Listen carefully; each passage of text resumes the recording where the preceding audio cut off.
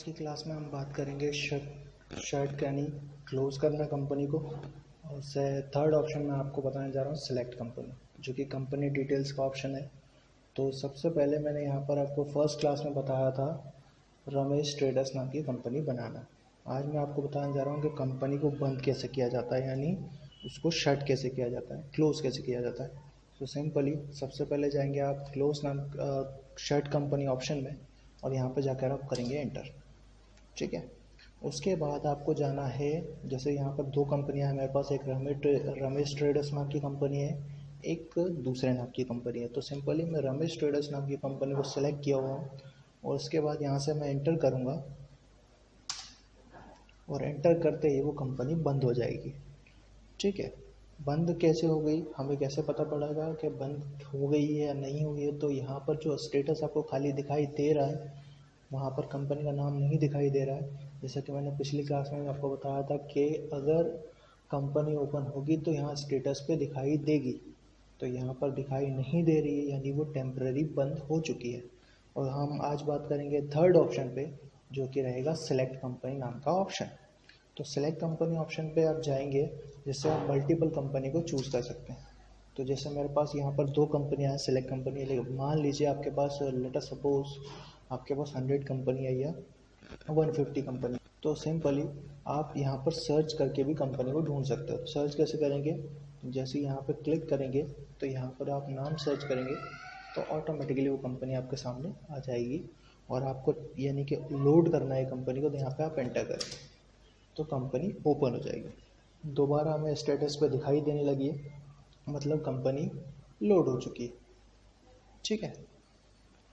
उसके बाद, जैसा कि मैंने आपको बताया था, ये तीन ऑप्शन मैं आपको बताने वाला हूँ तो यहाँ पे मैं तो नेक्स्ट टॉपिक है यूजिंग सिक्योरिटी कंट्रोल्स तो आज हम बात करने वाले हैं सिक्योरिटी कंट्रोल्स पे। तो जैसा कि मैंने आपसे कहा था कि इसमें दो तरह के सिक्योरिटी कंट्रोल्स होते हैं, और हम दोनों सिक्योरिटी कंट्रोल्स पे काम करने वाले हैं तो सिंपली आज मैं आपको सिक्योरिटी कंट्रोल बताने वाला हूँ। तो इसमें दो तरह के सिक्योरिटी कंट्रोल होते हैं। तो जैसे हम जब कंपनी बनाते हैं तो कंपनी को सिक्योर करना भी बहुत ज़रूरी होता है। तो यहाँ पे मैं कंपनी बना रहा हूँ, रवि ट्रेडर्स नाम की। और मैं यहाँ पर इसको एड्रेस वगैरह भी छोड़ दे रहा हूँ स्कैप कर दे रहा हूँ। मैं यहाँ पे कंपनी कंट्री ले ले रहा हूँ इंडिया स्टेट ले रहा हूँ, मध्य प्रदेश। और यहाँ पर ये डिटेल भी छोड़ दे रहा हूँ। उसके बाद फाइनेंशियल ईयर एक चार दो हज़ार उन्नीस, एक चार दो हज़ार उन्नीस। यहाँ पर दो सिक्योरिटी कंट्रोल में से पहला सिक्योरिटी कंट्रोल आपके सामने आएगा, जो कि रहेगा ये। Tally vault password if any यानी कि ये जो लिखा हुआ है, यहाँ पर आपको एक पासवर्ड देना है। तो मैं यहाँ पर पासवर्ड दे दे रहा हूँ। One, two, three, four, five, आपको जो पासवर्ड देना आप दे सकते हैं। एंटर करेंगे, ये दोबारा पूछेगा रिपीट पासवर्ड में one, two, three, four, five. आपको सेम वही पासवर्ड देना है, ठीक है? और जैसा कि मैंने आपको बताया था, यहाँ पर एक और सिक्योरिटी कंट्रोल होता है तो ये दूसरा सिक्योरिटी कंट्रोल है। फ़िलहाल एक बार में हम एक ही सिक्योरिटी कंट्रोल का यूज़ कर सकते हैं। जैसे ही आप दूसरे सिक्योरिटी कंट्रोल को इनेबल करेंगे पहला वाला डिसेबल हो जाएगा। ठीक है? तो एक टाइम पर आप एक ही सिक्योरिटी कंट्रोल का यूज़ कर सकते हैं। तो मैं फ़र्स्ट सिक्योरिटी कंट्रोल का यूज़ करके बता रहा हूँ। जैसे ही मैं यहाँ पर कंपनी को एंटर करूँगा एंटर एंटर एंटर और यहाँ पे इसको करूँगा एक्सेप्ट तो कंपनी तो बन जाएगी, लेकिन साथ ही साथ मुझसे एक पासवर्ड मांगा जाएगा। तो पासवर्ड जैसे ही मैं दूँगा कंपनी ओपन हो जाएगी। तो जैसे ही मैंने पासवर्ड लिखा और मैं एंटर कर रहा हूँ तो कंपनी यहाँ पर हमें स्टेटस पे दिखाई दे रही है, रवि ट्रेडर्स नाम की कंपनी और नो बाउचर एंट्री ठीक है, यदि मैं इसको बंद करता हूँ, कंपनी को बंद कर देता हूँ, और इसमें दोबारा ओपन करूँगा तो ये दोबारा मुझसे पासवर्ड मांगेगा तो मैंने यहाँ पे इसको बंद कर दिया। मैं गया सिलेक्ट कंपनी में। सिलेक्ट कंपनी में जाने के बाद मैंने यहाँ पर, अब इसकी कुछ खासियत मैं आपको बताने वाला हूँ कि जो फ़र्स्ट सिक्योरिटी कंट्रोल को अगर आप लगाते हो तो उसके फ़ायदे क्या हैं, उसके प्लस पॉइंट्स का।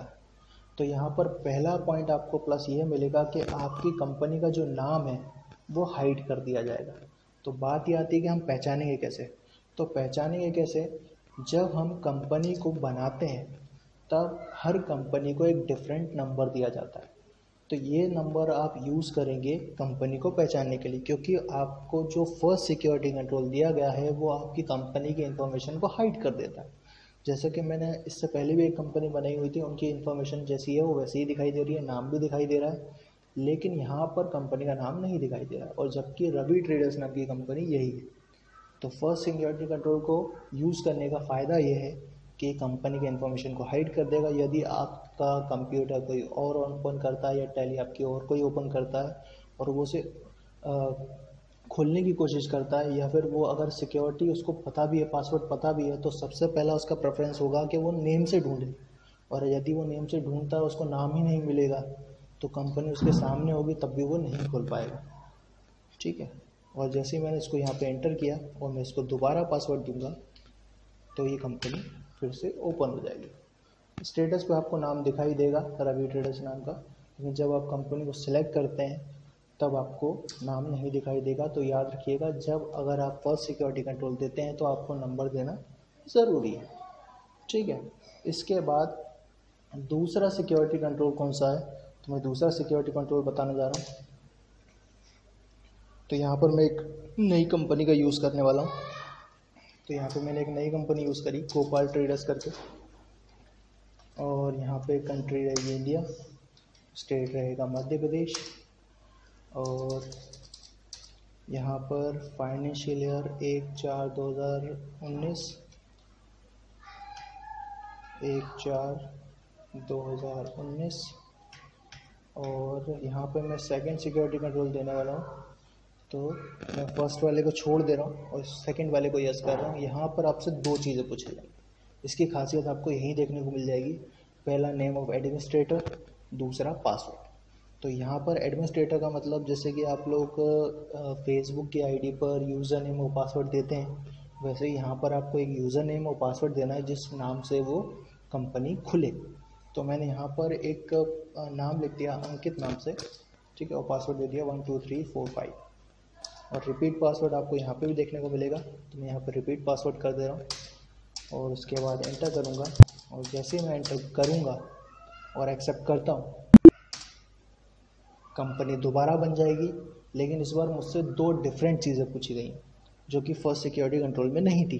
लेकिन इस सिक्योरिटी कंट्रोल में है नेम ऑफ़ यूज़र नेम तो यहाँ पर आपने जो अंकित नाम से पासवर्ड दिया यूज़र नेम दिया था, वो यहाँ पे देंगे और यहाँ पे देंगे आप पासवर्ड और कंपनी आपकी दोबारा ओपन हो जाएगी। ठीक है?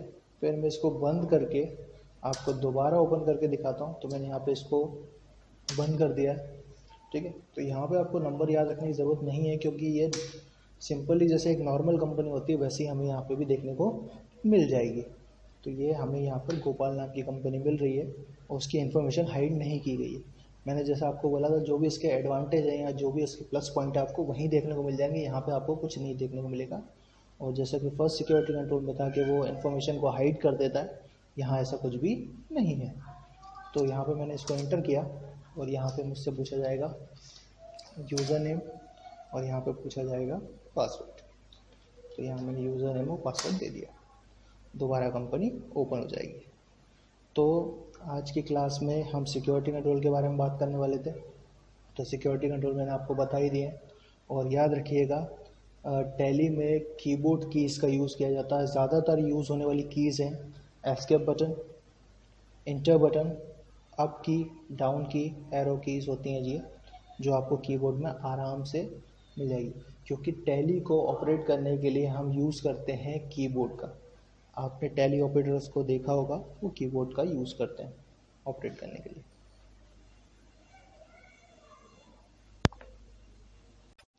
आज की क्लास में हम बात करेंगे शर्ट शर्ट यानी क्लोज करना कंपनी को।